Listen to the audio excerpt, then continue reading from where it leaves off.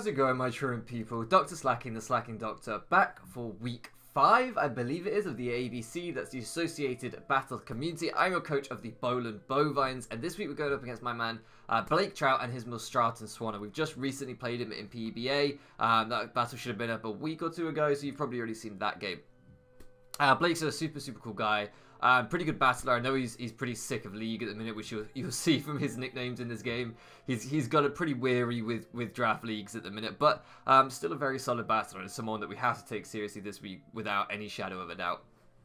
And he has a pretty scary draft. So just before we get into the team builder and stuff, this is going to be fairly quick. Um, uh, I'm going to try and browse through it as quick as I can. I apologize. We're not have any sprites on the layout. I'm in the middle of uh, my deadline at the minute for uni, my final master's submission. Um, and yeah, I, I just have no time at the minute. It's, it's hell on earth. So, this is a team that I built in like, geez, I think it took me about half an hour to build this team while uh, I was laid in bed because I couldn't sleep because I'd had too many cups of tea trying to get my work done. Um, and the caffeine just had me buzzing. And then I messaged Blake. I was like, "Hey, do you happen to be around?" And he was like, "Yes." We played at like 3 a.m. UK time or 2 a.m. UK time with a team I built in half an hour. So not best prep, but this is the team that I came up with anyway. And his, his team that we were going up against was um, Infernape, Tangrowth, Jellicent, Mega Manectric, Pinsir, and that's a Z user, Florges, Salamence, Aggron, his second Z user, Weavile, Alolan Dugtrio, and Alolan Dugtrio and Avalugg, two further Z users. So this is a four Z user draft. Pinsir, Aggron, Alolan Dugtrio, Avalugg. Now, major threats to my team, Weavile, Salamence, Mega Manectric, Jellicent, Avalugg actually could be a problem, Infernape, Tangrowth, Florges, literally everything on the draft. Alolan Dugtrio doesn't really scare me. Um, Aggron potentially doesn't really scare me. Depends on the set. Something like Band and Trick Room could be scary, but I don't think he has any Trick Room setters at all. Um, yeah, so they're the kind of things I'm worried about. And regular Pinsir doesn't really scare me too much either. Although a Scarf Moxie set has its place, like it could definitely do some work. So, yeah, uh, pretty scary draft uh, in, in all truth. One of the things that I think he suffers with a little bit is not having, say, Salamence or Weavile or Infernape as his users. I think that he chose to go for those cheap Pinsir, Aggron, Dugtrio, and Avalugg. I think that's maybe the one problem with his draft is uh, that. That would be kind of the thing that I picked out when I was prepping for him. I was like, hey, I don't really have to fear any of his most broken ones firing for Z moves, particularly the Salamence. Uh, but with that in mind, this is the team that we put together. And I should shout out before I do this. Uh, I don't have to shout out my front office this time. I have to shout out Checkmate Ben because he built an entirely different team for this game that I just point blank refused to use. So I apologize to him. I love him very much and I appreciate him building that team. But honestly, guys, the team he built me was mental. It had like five Pokemon with setup options plus Baton Pass, pretty much. It was just like set up with everything and just keep passing the stats on and just chain until you have one Pokemon set up to like plus six and everything. It was just ridiculous. Um, I mean, he probably would have won with it, but I'm not that good at Pokemon, so I can't use the kind of things that Checkmate Ben runs. So, that being said, this is the team that I then pieced together uh, in response. So we have Scald, Ice Beam, Flamethrower, Drain Punch, Max Physical Defense, Slowbro with the Colbur Berry. Now this uh, may spring out one or two of you strange. Drain Punch, Mix Set, minus Speed, Nature here with the uh, plus Defense. Why? Like, why that? Uh, for the Weavile, this is basically Weavile bait. Weavile, I have no good switchings to. If you look at this team, like, nothing really wants to take either a knockoff or uh, an Icicle Crash. Um, I have some things, but they'll get worn down fast. I don't have recovery, so um, I just felt like I wanted something to bait that Weavile. So that's exactly what Slowbro is here to do. Colbur Berry means that we take, like, I think we take like 30% from a knockoff or something crazy. And then Drain Punch uh, always OHKOs after rocks and just recovers all of that HP. I thought that was a really cool tech. I was really uh, quite proud of that myself. I thought it was fun. Um, Flamethrower's on there for the Avalugg because this thing can switch into Avalugg all day long. Uh, can avalanche into me and it's not going to do anything with this max defense and the resist there.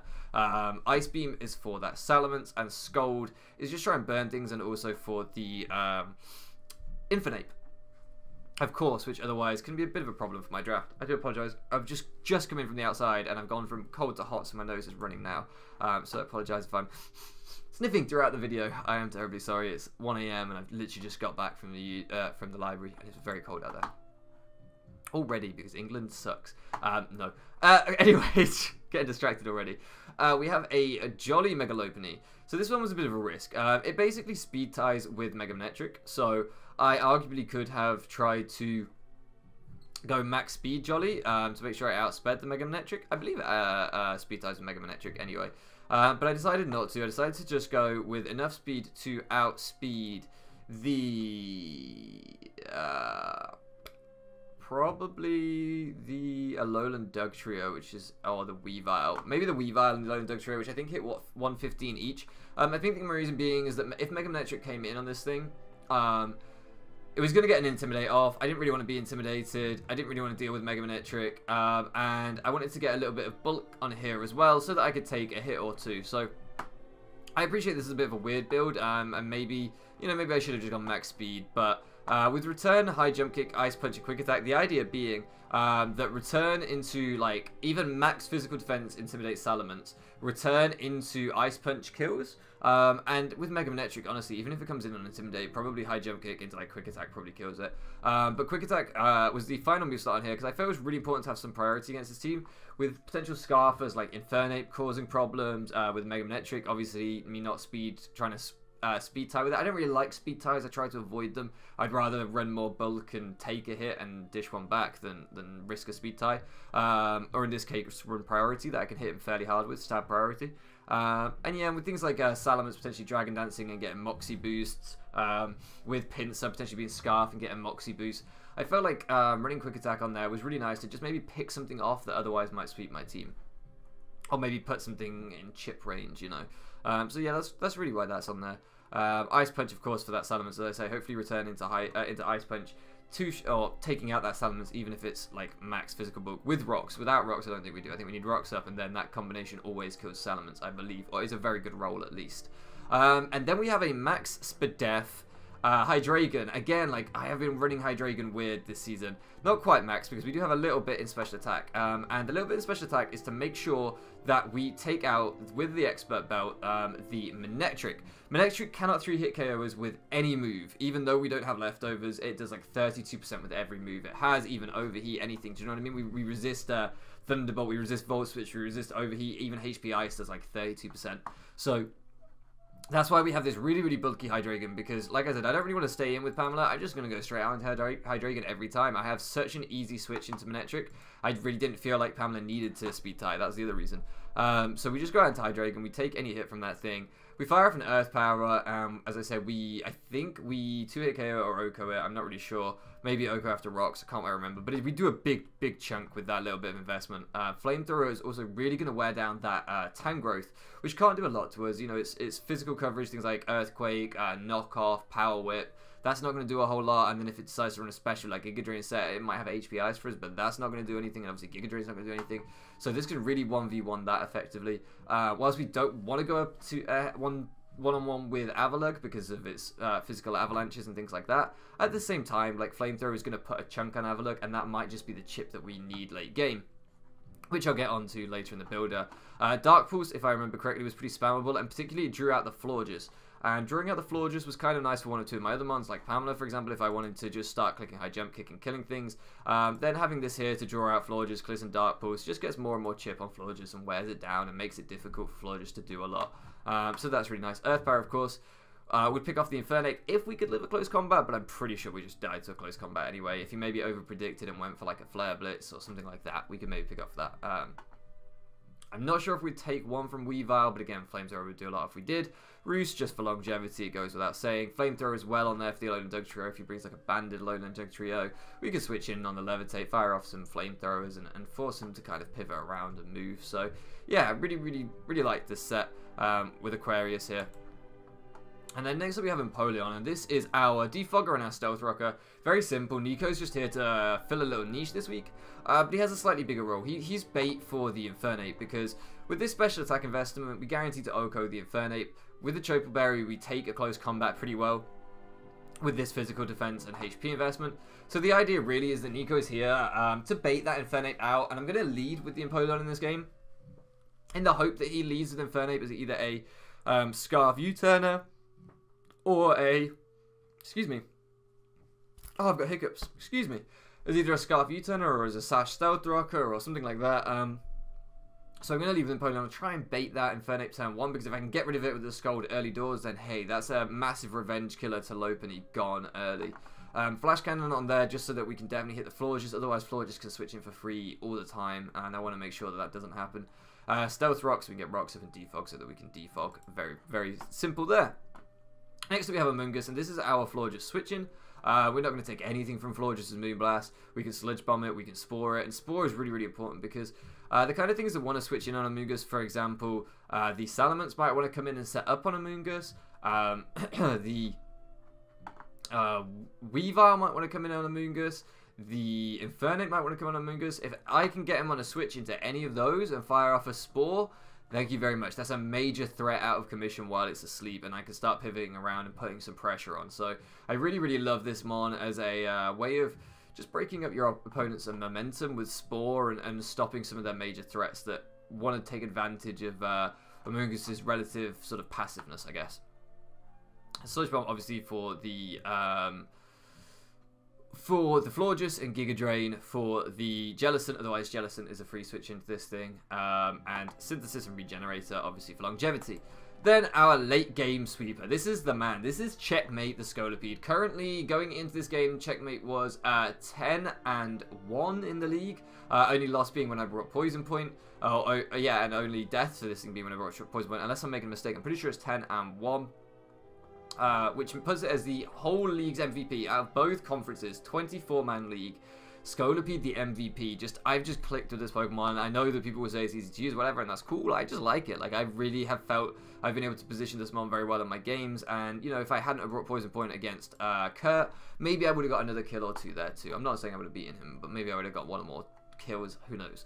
Um, this week we're just trying to polish off the end of the game with this. If we can get some chip on Av Avalugg and we can get some chip on Jellicent, uh, Scolipede just runs through the rest of his draft. Um, Poison Jab, uh, Earthquake, and Rock Slide we're running. So Infernape dies to Earthquake. Tangrowth dies to Poison Jab. Okay, like we need to get an SDO up and we maybe need some chip because Tangrowth is bulky, but it's not going to do a whole lot to me with like an Earthquake or anything anyway. Um, Jellicent, we need some chip on and then we can hit Jellicent pretty hard with an Earthquake or a Rock Slide. Uh, Mega Manectric, Earthquake. Pinsir uh, does not want to take a plus 2 Poison Jab. Florges dies to a Poison Jab. Salamence will die to a plus 2 Rock Slide more than likely, and I don't think he wants to take a Poison Jab either. Aggron will die to a plus 2 Earthquake, especially if we've got Rocks to take away Sturdy. Uh, Weavile will die to a plus 2 Rock Slide or Poison Jab, most likely. Dugtrio will die to a plus 2 Earthquake. And Avalugg, if we can get some chip, I think that a Rockium Z at plus 2 does around 70%. So we need to get rocks up and then maybe just any little bit of chip, like 5-10% on the Avalugg, and then we're good. So that's why I was kind of saying with uh, with Aquarius that maybe, hey, we just stay in and we get a little bit chip on Avalugg, or we get a little bit chip on Jellicent, or a little bit chip on Tangrowth. These are the kind of things that if we can Tangrowth, Jellicent, and... Uh, and Avalugg with a little bit of chip on those three, then Checkmate just wins. Um, and that's pretty awesome. So that was kind of the game plan going into this. They were the ones that I wanted to try and beat down. And yeah, that's the team. Hopefully you guys like it. Uh, all that being said, let's jump into the battle. So here we are in the battle, guys, and Blake, as you can see, has brought a very, very intimidating team. Um, he's brought the Mega Manectric, no pun intended there with the Intimidate. Uh, he's brought the Infernape, the Aggron, the Salamence, the Florges, and the Jellicent. So one thing I have to be really careful of is a potential Dragon Dance Moxie Salamence sweep. I know it's not Z, so I can play around it securing that knowledge, uh, which helps a lot, but it's definitely something I want to watch out for. The Aggron, if it's a banded set, just does massive damage to everything. Nothing wants to take hits from Aggron. However, offensively, you know, I have Earth Power with an Expert Belt, I have Scald, I have High Jump Kick, I have Scald, I have Giga Drain, uh, well, Giga neutral to be fair, but I have Spore, and I have Earthquake. So I know that everything hits it for super effective damage or can spore it on my team, so offensively can handle it, but switching into it is going to be a problem. I might just need to kill it with whatever I have in on it when the time comes. Um, Infernape, I need to be careful of that thing just U-turning around. I think it's probably going to be a Scarf Revenge Killer on Lopunny, so I need to make sure that I just play around it carefully. Going into Slowbro on it as it clicks uh, U-turn is going to chip down Slowbro, so that's a potential threat. So I just, I just need to make sure that I don't over-predict or whatever and try and play the safe game with it. I don't want to see this uh, just being able to wish pass into the rest of his team and just keep them around, um, especially this Jellicent, because that's the only thing that really beats Scolipede here. Looking at it, he didn't bring the Tangrowth and he didn't bring the Avalugg, so if I can get some chip on Jellicent or in some way incapacitate it, then I'm I'm gonna win with Scolipede if I can get it set up at the right time. So that's super, super important going into this. So with that in mind, just as I said in the team builder, we're going to lead off with Empoleon, uh, hoping that he leads with Infernape. And we actually see that he does. Now, this is really, really crucial because he has, in my opinion, two choices. He can click Close Combat and potentially bring out the Slowbro. Nothing else on my team wants to switch in. There's no way in hell you switch in an Amoonguss in case he flare blitzes. You don't switch in in a close combat with a Hydreigon, a Lopunny, or uh, you don't switch in the Scolipede to a Flare Blitz. So it's a really, really tricky situation where he knows that my best play, seemingly, is just to go out and Slowbro. Now, in my opinion, he, he has two options. He can either think that, okay, well, he's led in Empoleon. It could be a Sash lead. He could go for Aqua Jet chip. Um, or he could go into Slowbro. And he has a 50-50. Either close combats, hoping I stay in, or a U-turn, thinking I go out. The safer play is to U-turn, because, hey, you don't lose anything if you U-turn. Uh, the riskier play is to close combat. With that in mind, I'm just going to click Scald because if he close combats and I lose my Chople Berry, then I've allowed him to make the risky play, and I've not punished him, and that's a that's a waste. So uh, really, what I need to do is I need to make sure that I do punish him. Um, and at the worst case scenario, he goes into Jellicent, he gets the water absorb, that's fine, but I can set rocks on Jellicent anyway. So, and that's what I want. I want rocks in this game to wear down the Jellicent, to wear down the Salamence, to take the Sturdy from the Aggron. So I'm just like, okay, well, I'm going to click Scald, and he actually goes for the use and gets crit. It doesn't matter. Um, I click Scald, and this is where, in my opinion, makes a slight misplay. He goes into Manectric, I Scald, and I get a crit, and it kills. Now, at this point in the game, turn 1 Scald on his Mega Pokemon. So, so unlucky. Like, I, I apologize to Blake in the chat. I couldn't say sorry enough, and I really genuinely meant it. I don't know if this is game-changing. We'll have to watch the rest of the game. I don't want to spoil anything, obviously, but it just sucks. Whatever happens from here on out, he is on the back foot from turn 1. He's lost his Mega Pokemon. Now, what I will say at this point is that I'm thinking, well, you know, I know that my Hydreigon just switches into this thing every time and completely hardballs it. So, I actually don't benefit that much by this thing going down other than it completely puts him on tilt, which of course sucks when you can see his nickname for this is Flump this game and his Infernape was called I Want Out. So, obviously he's not in the best mindset going into this and, and that really, really sucks. The one thing I would say is that I felt like he... um he he, he took a risky play. Um, he he U-turned out, and seeing me stay in, in my opinion, should say that I'm either Sash or Chople to him because I'm not the type of player that stays in on a potential close combat if I'm not either of those things. Um, I don't risk my Empoleon turn one just to get rocks up. Looking at my team, it's my only stealth rocker, so like it just wouldn't be worth it unless I was Sash or Chople.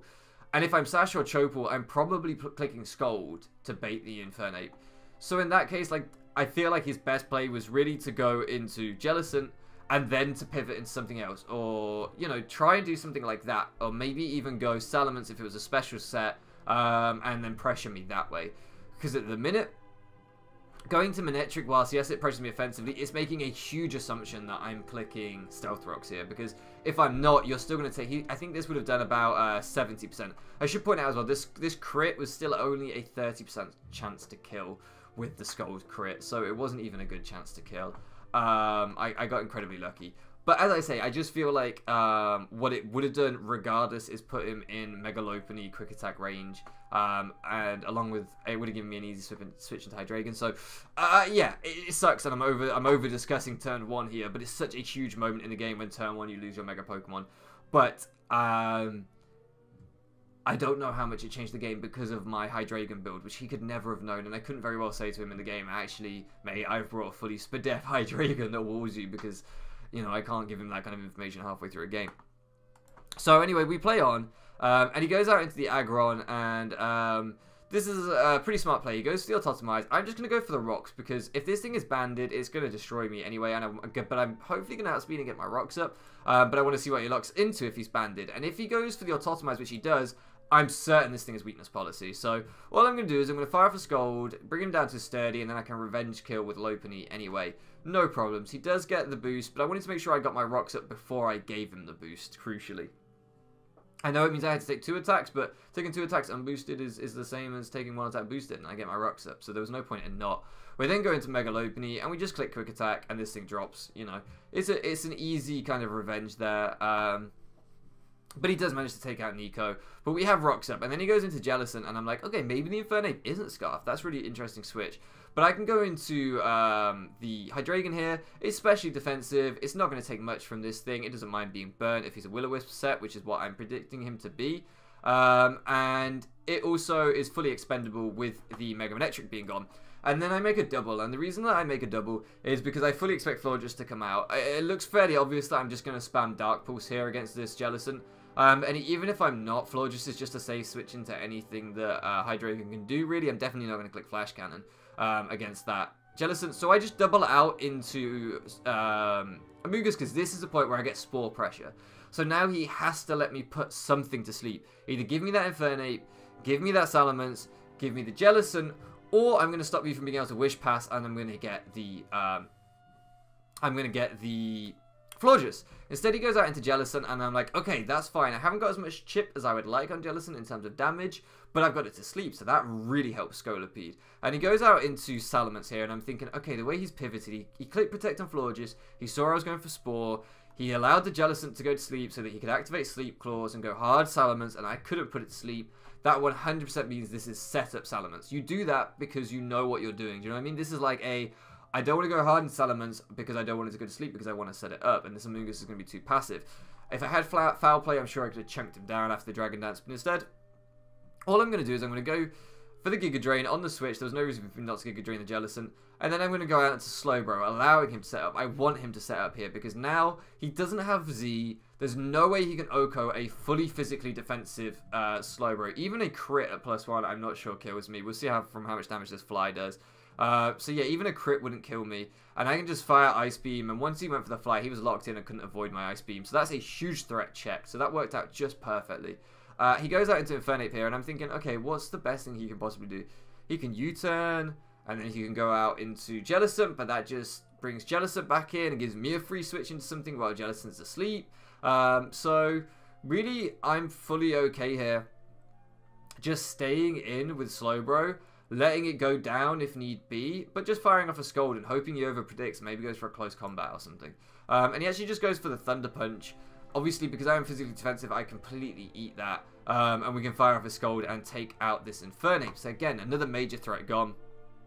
And he goes out into Florges here. There's no point in me staying in with the Slowbro. I haven't teched anything for the Florges on the Slowbro, so uh, he will beat me 1v1. I'm just going to go out into Stormfall, and unfortunately he gets a special attack drop.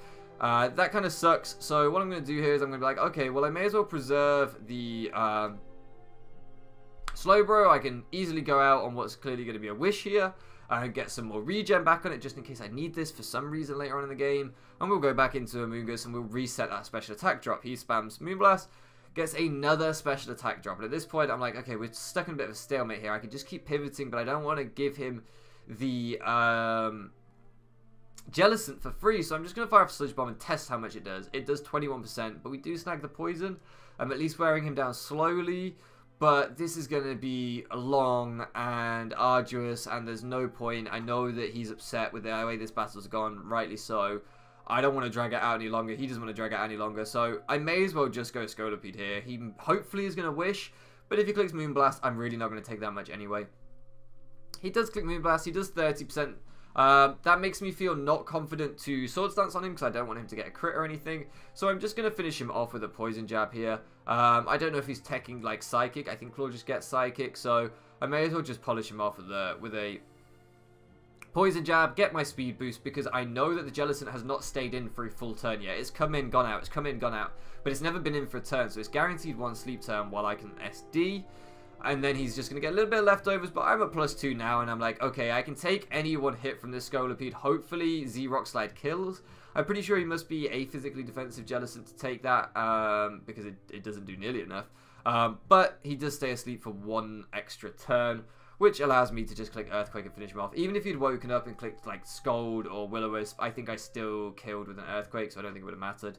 Um, and if not, I revenge killed with Hydreigon, of course. So Checkmate doing exactly what he was supposed to do here, closing out this game for me with two kills at the end, and now 12 and 1 in five games. 12 and 1 in five games, guys. That's crazy. That's the best we've ever had a Pokemon do. Scolipede definitely confirming itself as one of my favorite Pokemon in draft in just five games. Um, yeah, really, really love this mon already. Uh, and, the team working out perfectly. Team really, really working out nicely. A nice 5-0 win. GG to my man Blake. As I say, I am genuinely sorry about that Scald turn 1. I don't think the death of the Manectric affected the game so much as the unlike completely understandable rage that it caused affected the game. I think that was the, the clutch thing was that Uh, whilst Manectric couldn't have made a big impact on this game, Blake not being put on tilt early when he's already not in a good mindset would have changed the game. So I feel so bad for him, and I can't apologize to enough because he's just had a really rough time at the minute in draft, and it sucks. It sucks when you're going through that patch. Um, so yeah, I genuinely am sorry to him. And I hope that we can play again soon and we can have a good, clean game because I know what a good player he is. And you can see from the quality of his draft here that he knows the game. And it, it just it's just sucking for him at the minute, but it'll get there. I, th- I think I had the matchup this week. Like, I really, uh, uh, going into this from my team builder, uh, it would have been so hard for him to get the W here. Like, I think my team just matched up really, really well. So, you have those games, guys. Anyway, all that being said, uh, I hope you guys are enjoying this season. So far, we are 4 and 1 in the ABC. This is probably our best start in a league ever, I, I think. I think this is even better than PBA. Um, but yeah, back to back great starts in leagues at the minute really, really started to push on, and I'm really pleased with the way things are going. So, hopefully we can continue this form throughout the season. Next week we go up against Jack. Now Jack is a major, major rival for playoffs. Um, in those playoff spots, we have a few people really pulling away um, at the top of the league, myself included, of course, at four and one. Um, and Jack is one of those. He's also at four and one, I believe. Uh, I think he beat Socrates recently, who's one of the best players in the league, no doubt, a finalist, runner-up last season. So Jack is a force to be reckoned with, and we really, really need to be careful when we come up against him next week, uh, which is is pretty scary considering how little time I have to prep. But hopefully we can pull something out of the bag there. So hopefully you guys are looking forward to that. Hopefully you guys are looking forward to the rest of the season. I hope you've enjoyed this battle. I'm gonna shut up rambling on now um, and try and get on with some more work. Thank you so much for loafing around with me, and I'll catch you again next time.